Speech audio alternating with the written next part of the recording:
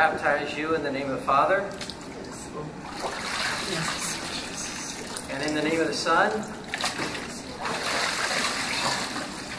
Okay. All right. And in the name of the Holy Spirit.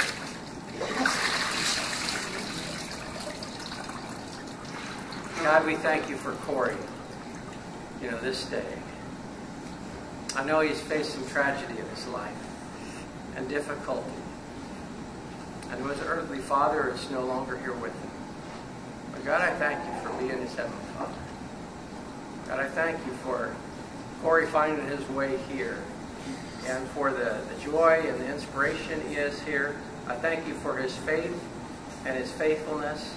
I thank you for his family, and I pray, you know, I just thank you for Linda and for her, her influence in his life. I pray that Corey will continue to be a blessing.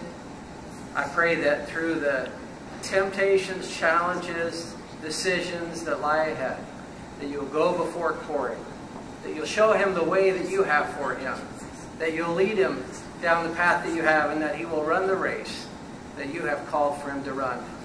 And God, I just pray that you will use him in great ways. It's in Jesus' name that we pray. And all God's people said,